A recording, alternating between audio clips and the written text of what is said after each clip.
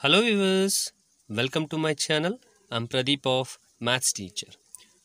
Dear SSLC students, ಈ ವಿಡಿಯೋದಲ್ಲಿ ನಾನು ನಿಮಗೆ ಎಸ್ ಎಸ್ ಎಲ್ ಸಿ ಎಕ್ಸಾಮ್ಗೆ ಬರುವಂತಹ ಇಂಪಾರ್ಟೆಂಟ್ ಥೀರಮ್ಸ್ ಜೊತೆಗೆ ಎಲ್ಲ ಥೀರಮ್ಸ್ಗಳನ್ನು ಕೂಡ ನಿಮಗೆ ಇಲ್ಲಿ ತೋರಿಸ್ಕೊಡ್ತಾ ಇದ್ದೀನಿ ಅಥವಾ ಈ ಒಂದು ವಿಡಿಯೋದಲ್ಲಿ ಆ ಥೀರಮ್ಸ್ಗಳನ್ನ ನಾನು ಶೋ ಮಾಡ್ತಾ ಇದ್ದೀನಿ ಜಸ್ಟ್ ಆ ಒಂದು ಥಿಯಮ್ಸ್ಗಳಲ್ಲಿ ಯಾವುದ್ಯಾವುದು ಇಂಪಾರ್ಟೆಂಟ್ ಥಿಯರಮ್ ಯಾವುದ್ಯಾವುದಕ್ಕೆ ತುಂಬ ಪ್ರಿಫರೆನ್ಸ್ ಕೊಡಬೇಕು, ಹಾಗೆ ಜೊತೆಗೆ ಯಾವ್ಯಾವ ಥಿಯರಮ್ಗೆ ಎಷ್ಟೆಷ್ಟು ಮಾರ್ಕ್ಸ್ ಕೇಳ್ಬೋದು ಅನ್ನೋದನ್ನು ನಾನು ಈ ವಿಡಿಯೋದಲ್ಲೇ ಹೇಳ್ತೀನಿ. ಹಾಗೆ ಎಸ್ ಎಸ್ ಎಲ್ ಸಿ ಎಕ್ಸಾಮಿನೇಷನಲ್ಲಿ ನಾನು ಹೇಳಿರುವಂತಹ ಈ ಎಂಟು ಥಿಯರಮ್ಗಳಲ್ಲಿ ನಾನು ಹೇಳುವಂತಹ ಈ ಎಂಟು ಥಿಯರಮ್ಗಳಲ್ಲಿ ನೀವು ಎಲ್ಲವನ್ನೂ ಕೂಡ ಕಲ್ತ್ಕೊಂಡಿದ್ರೆ ನಿಮಗೆ ಮಿನಿಮಮ್ ಫೈವ್ ಪ್ಲಸ್ ಫೋರ್ ಅಥವಾ ಫೋರ್ ಪ್ಲಸ್ ತ್ರೀ ಮಾರ್ಕ್ಸ್ ಡೆಫಿನೆಟ್ಲಿಯಾಗಿ ಸಿಗುತ್ತೆ ಚಿಲ್ಡ್ರನ್ಸ್ ಸೊ ಒಂದೊಂದಾಗಿ ಥಿರಮ್ಸ್ಗಳನ್ನ ನಾನು ಹೇಳ್ಕೊಡ್ತೀನಿ. ಹಾಗಾದ್ರೆ ಸ್ಟಾರ್ಟ್ ಮಾಡೋಣ ಓಕೆ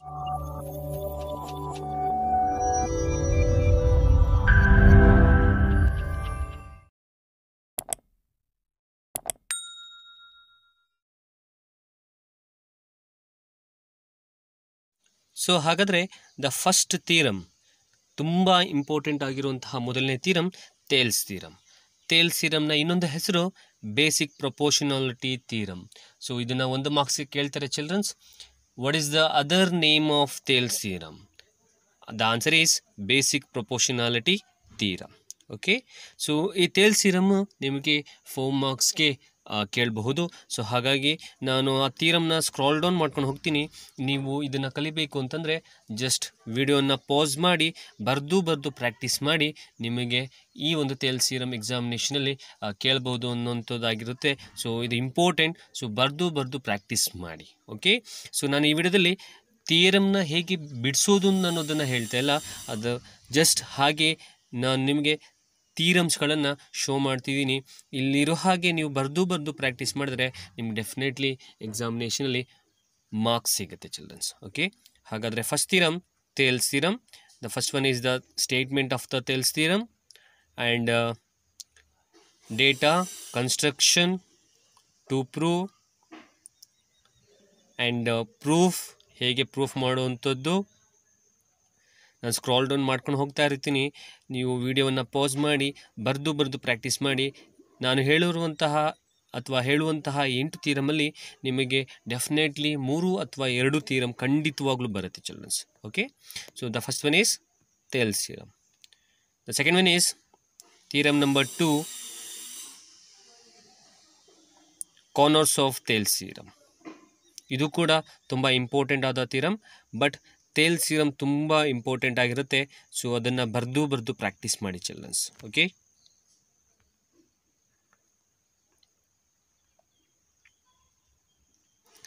ಸೊ ಇದು converse of Thales the next theorem is theorem number three areas sorry A A criteria theorem ತುಂಬ important childrens theorem number three A A criteria ಈ ಥೀರಮ್ನ ನಿಮಗೆ ಫೋರ್ ಮಾರ್ಕ್ಸ್ಗೆ ಕೇಳುವಂತಹ ಚಾನ್ಸಸ್ ಇರುತ್ತೆ. So very very important theorem the theorem number three A A criteria theorem ನಾನು ಮೊದಲೇ ಹೇಳಿದಾಗೆ, ನಾನು ಥೀರಮ್ಸ್ಗಳು ಹೇಗೆ ಬಿಡಿಸೋದು ಅನ್ನೋದನ್ನು ಹೇಳ್ತಾ ಇಲ್ಲ. ನಿಮಗೆ ಜಸ್ಟ್ ಆ ಥೀರಮ್ಸ್ಗಳನ್ನು ತೋರಿಸ್ಕೊಡ್ತಾ ಇದ್ದೀನಿ ಅಥವಾ ಶೋ ಮಾಡ್ತಾ ಇದ್ದೀನಿ. ಜಸ್ಟ್ ಆ ಥೀರಮ್ಸ್ಗಳನ್ನು ನೀವು ಬರೆದು ಬರೆದು ಬರೆದು ಪ್ರಾಕ್ಟೀಸ್ ಮಾಡಿ. ನೀವು ಎಕ್ಸಾಮಿನೇಷನಲ್ಲಿ ಎಂಟು ಥೀರಮನ್ನು ಕೂಡ ಕಲಿತ್ರೆ ನಿಮಗೆ ಫೈವ್ ಪ್ಲಸ್ ಫೋರ್ ಅಥವಾ ಫೋರ್ ಪ್ಲಸ್ ತ್ರೀ ಮಾರ್ಕ್ಸ್ ಸಿಗುತ್ತೆ childrens okay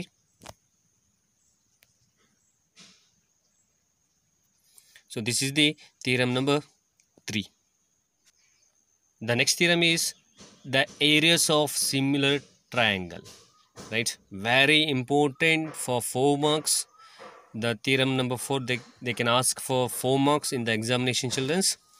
So ಬರ್ದು ಬರ್ದು ಪ್ರಾಕ್ಟೀಸ್ ಮಾಡಿ construction to prove and proof very important for four marks Thales theorem ಕೇಳಲಿಲ್ಲ ಅಂತಂದರೆ ನಿಮಗೆ ಈ ತೀರಮ್ನು ಕೇಳುವಂತಹ ಚಾನ್ಸಸ್ ಇರುತ್ತೆ.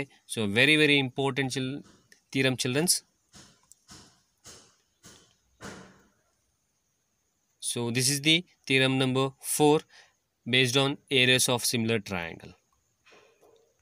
right the next one is theorem number 5 very important it's pythagoras theorem five ಮಾರ್ಕ್ಸ್ಗೆ theorem ಕೇಳುವಂತಹ ಒಂದು ಥೀರಮ್ ಚಿಲ್ಡ್ರನ್ಸ್ ಸೊ ಫೈವ್ ಮಾರ್ಕ್ಸ್ಗೆ ಥೀರಮನ್ನು ಕೇಳಬಹುದು ಪೈಥಾಗರಸ್ ಥೀರಮ್ ಅಥವಾ ಕಾನೋಸ್ ಆಫ್ ಪೈಥಾಗರಸ್ ಥೀರಮ್ ಕೇಳಬಹುದು ಇವೆರಡನ್ನೂ ಕೂಡ ಫೈವ್ ಮಾರ್ಕ್ಸ್ಗೆ ಕೇಳಲಿಲ್ಲ ಅಂದರೆ ಆ ಜಾಗದಲ್ಲಿ surface area and volume based ಪ್ರಾಬ್ಲಮ್ಸನ್ನು ಕೇಳ್ತಾರೆ. So Pythagoras theorem for five marks very important so ಬರೆದು ಬರೆದು ಪ್ರಾಕ್ಟೀಸ್ ಮಾಡಿ, ತುಂಬ ಇಂಪಾರ್ಟೆಂಟ್ ಅಂತಹ theorem for five marks is nothing but the Pythagoras theorem so A C square is equals to A B square plus B C square and the proof and all the square of the hypotenuse side is equals to the the sum of the squares of the other two sides so this is the statement ಹಾಗೆಯೇ Thales ಥೀರಮ್ದು ಸ್ಟೇಟ್ಮೆಂಟ್ನು ಕೂಡ ಒಂದು ಮಾರ್ಕ್ಸಿಗೆ ಕೇಳ್ತಾರೆ ಹಾಗೆ Pythagoras ಥೀರಮ್ದು ಸ್ಟೇಟ್ಮೆಂಟ್ನು ಕೂಡ ಒಂದು ಮಾರ್ಕ್ಸಿಗೆ ಕೇಳ್ತಾರೆ childrens So, very important theorem, Pythagoras theorem. The next one is theorem number six Very important based on circle chapter that the tangent at any point of a circle is perpendicular to the radius through the point of contact. Three ಮಾರ್ಕ್ಸ್ಗೆ ಕೇಳುವಂತಹ chances ಇದೆ. ತೀರಮ್ number six ಮತ್ತು ತೀರಮ್ number seven ಎರಡೂ ಕೂಡ circle base ತೀರಮ್ ಆಗಿರುತ್ತೆ.